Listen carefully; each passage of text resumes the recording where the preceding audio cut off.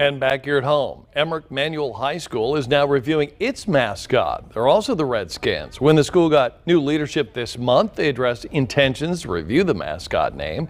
Emmerich Manual High School is now run by Christel House Schools, which is hosting a community discussion about the mascot on Thursday. This should be a time of reconciliation and healing, and it's not to be divisive. It's to assert that we have a right to be respected as any other human being on this planet. The American Indian Center of Indiana was invited to be a part of this week's conversation.